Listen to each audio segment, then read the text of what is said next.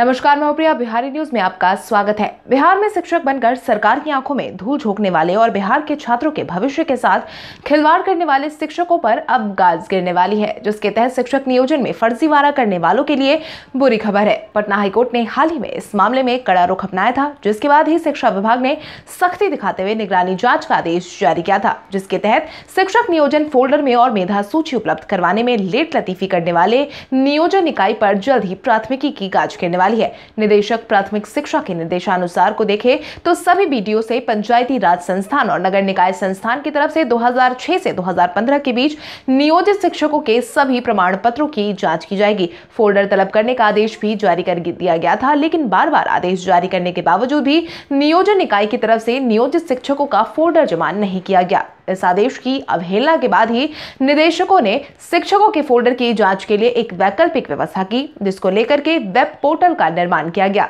जिसके तहत उन्होंने अपने प्रमाण पत्र को निगरानी विभाग के पास जमा नहीं किया है। वो शिक्षा विभाग के वेब पोर्टल पर अपलोड कर सकते थे, जो कि जिला प्रशासन की वेबसाइट NIC पर अपलोड कर सकते थे, जिसके लिए सत्रह मई की तारीख भी जारी की गई थी। निगरानी अन्वेषण ब्यूरो की तरफ़ से यह पहले ही साफ़ तौर पर कहा गया था कि फोल्डर उपलब्ध नहीं कराने वाले शिक्षकों की सूची को जिला प्रशासन की वेबसाइट एनआईसी पर अपलोड कर देना होगा, जिसके परिणाम स्वरूप अररिया जिला शिक्षा विभाग ने ऐसे शिक्षकों को चिन्हित करने का काम कर लिया है, जिन्होंने अब तक जाँच के लिए फोल्डर जमा नहीं किया है और जिनके फोल्डर फ़िलहाल तो उपलब्ध करवा दिए गए हैं, लेकिन सारा प्रमाण पत्र उपलब्ध नहीं करवाया गया है। जिसके बाद अब सोमवार को समीक्षा के बाद चयनित शिक्षकों का नाम जिला प्रशासन की वेबसाइट एनआईसी पर अपलोड कर प्रदर्शित किया जाएगा, ताकि आम लोगों को भी ऐसे शिक्षकों की जानकारी आसानी से मिल सके।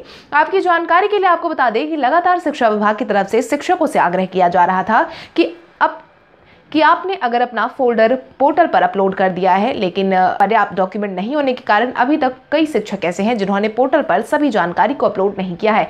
हालाँकि अब शिक्षा विभाग चुप रहने के मिजाज में नहीं दिख रहा है। पटना हाईकोर्ट की तरफ़ से लगी फटकार के बाद शिक्षा विभाग भी अब काफ़ी सक्रिय हो गया है। यही कारण है कि ऐसे शिक्षकों पर नकेल कसने की तैयारी हो रही है। साथ ही साथ इस बार आम नागरिकों को भी शिक्षकों की करतूत के बारे में खुले तौर पर बताया जाएगा, जिसके बाद ऐसे शिक्षकों की नौकरी भी अब जा सकती है। इसके साथ ही जिन भी शिक्षकों ने अब तक अपने दस्तावेज़ को उपलब्ध नहीं करवाया है। उन शिक्षकों पर प्राथमिकी दर्ज कर कार्रवाई की जाएगी। जानकारों की माने तो बिहार में कई ऐसे शिक्षक है जो फर्जी दस्तावेज़ के सहारे नियोजित शिक्षक बन गए हैं, जिसके बाद शिक्षा विभाग की यह पहल उन्हीं शिक्षकों के खिलाफ है, जिसके बाद अब यह देखना दिलचस्प होगा कि आखिर कितने दिनों के बाद इन सभी शिक्षकों के नाम को सार्वजनिक किया जाता है। साथ ही सरकार अब इस पूरे मामले में आके क्या कदम उठाती है। इसके साथ ही आज के इस वीडियो में बस इतना ही। तब तक के लिए धन्यवाद।